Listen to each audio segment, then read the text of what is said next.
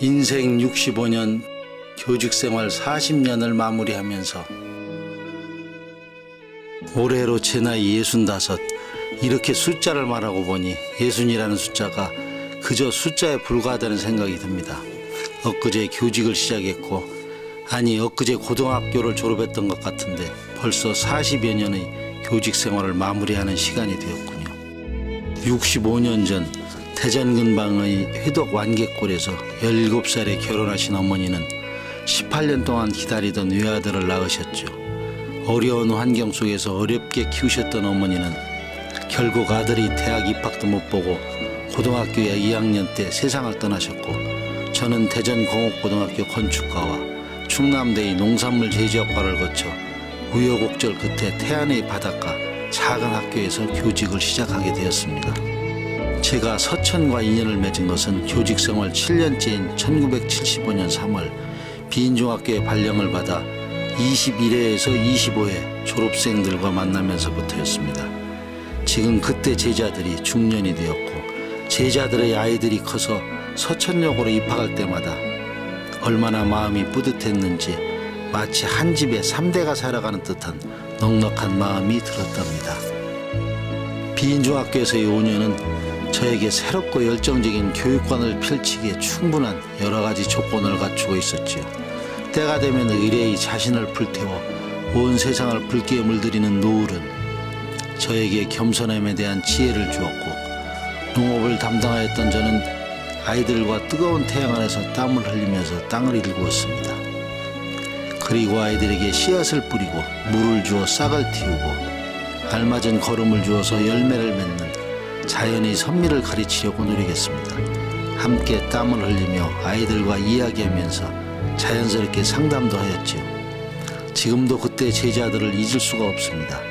고사리 같은 손으로 나와 함께 땅을 일구면서 자신의 꿈을 일구었던 아이들이 이제 이 나라의 당당한 주역이 되어서 다시 나를 찾아올 때는 저는 이 세상 전부를 가진 부자처럼 기분이 좋았답니다.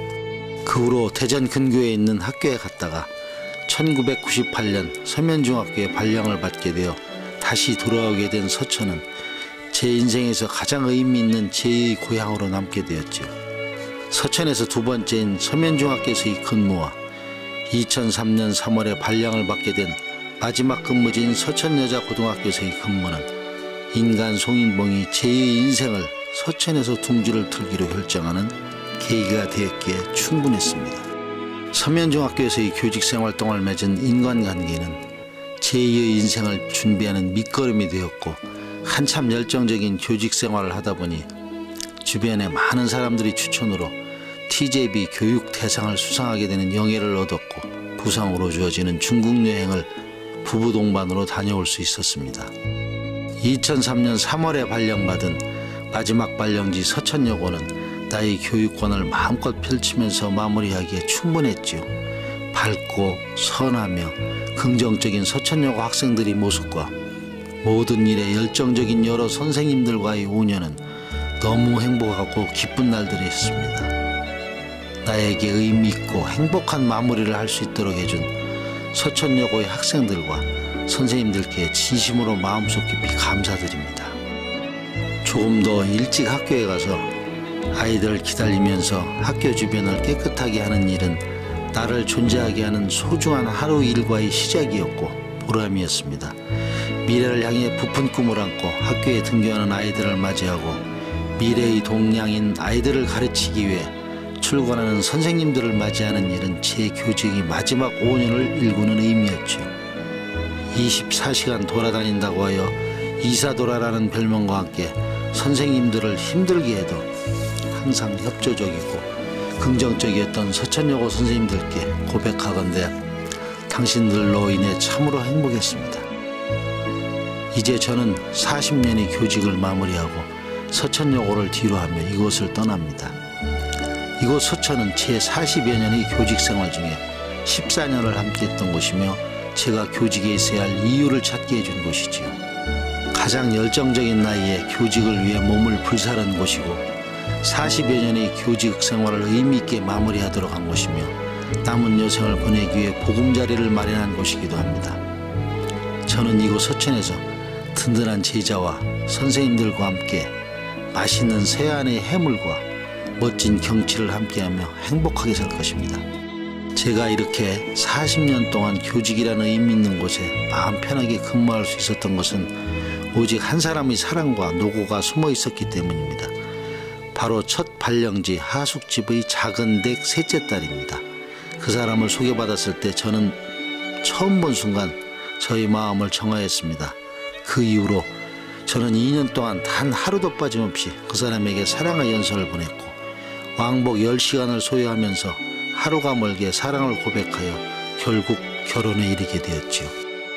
결혼 초에는 전기도 없고 버스도 다니지 않는 곳에서 오로지 나만을 기다려 주었고 워낙 사람을 좋아하고 술을 좋아하여 새벽 두세 시에 귀가해도 단 한 번도 아침 해장국을 빠뜨리지 않았으며 혹여 불쌍한 제자를 데리고 와서 밥을 먹여도 인상 한 번 찌푸리지 않았던 아름답고 착한 여인이었기에 제 40년의 교직 생활이 더 의미 있게 생각됩니다. 나의 아내는 저로 인해 신경성 위장병으로 고생했고 고집세고 사람 좋아하는 저 때문에 참으로 마음고생이 심했지요. 그럼에도 나의 아내는 늘 한결같은 마음으로 아름다운 청춘을 보냈습니다. 이 자리를 빌어 나의 아내에게 진심으로 나의 사랑을 전합니다. 이제 착하고 건강하게 자라준 딸, 아들과 며느리, 그리고 사랑하는 아내와 함께 이곳 서천에서 제2의 인생을 시작할까 합니다. 젊은 시절에는 50만 넘어도 인생이 끝나는 줄 알았는데 내가 그 나이가 훨씬 넘고 보니 마음은 어찌도 그대로인지 참 신기할 정도랍니다. 어쩌면 마음이 그 자리여서 더욱 살만한 것이 아닌가 싶기도 합니다. 저는 단지 교직 40년을 정리하는 시점에 와 있을 뿐입니다. 이제 유행하는 9988-234처럼 99세까지 팔팔하게 살고 2, 3일 앓다가 마무리한다는 말처럼 살고 싶답니다. 아마도 저는 내일 아침에도 어김없이 6시에 기상을 하여 습관대로 학교에 가 청소를 할지도 모르겠습니다. 그리고 학교 옆 테니스장에 매일 테니스를 치러 갔다가 무심코 교실을 돌아볼지도 모르겠군요. 제2의 인생의 보금자리인 종천집은 화려하지는 않지만 아침이면 햇살이 마당 가득하게 들어오고 서해안의 바닷바람이 머무는 곳입니다. 언제든 저를 기억하고 찾아와주는 분들과 같이 먹을 채소를 가꾸면서 열심히 살고 있겠습니다.